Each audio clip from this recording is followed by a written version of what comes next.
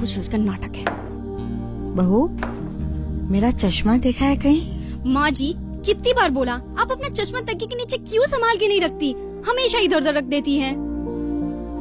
सुमित माँ जी का चश्मा फिर से गुम हो गया है। ढूंढ के दो।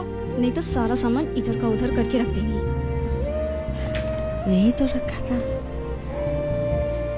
क्या है माँ? क्या हुआ? क्यों अपना सामान रोज इधर उधर रखकर सबको परेशान करती रहती हो? क्या ढूंढ रही हो? बेटा चश्मा नहीं मिल रहा। वही ढूंढ रही हूँ। माँ सामने रखा है चश्मा। तुम ना सचमुच अंधी हो गई हो। Thank you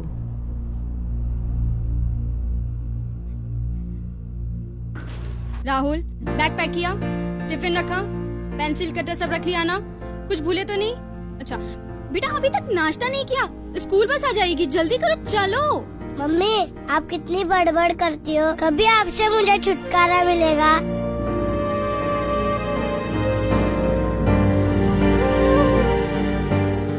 नेहा मेरा चश्मा देखा क्या?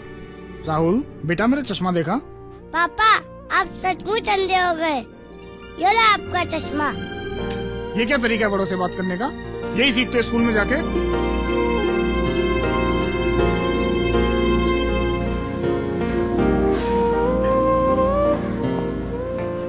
पापा मैं स्कूल में नहीं सीखा आपसे सीखा हूँ।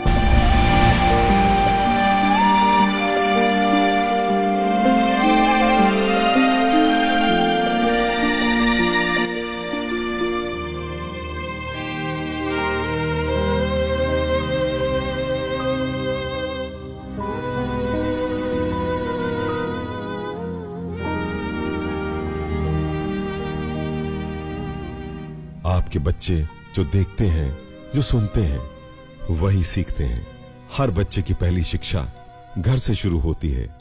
आपका घर, आपका परिवार, आपके बच्चों का पहला स्कूल होता है और माता पिता पहले शिक्षक होते हैं।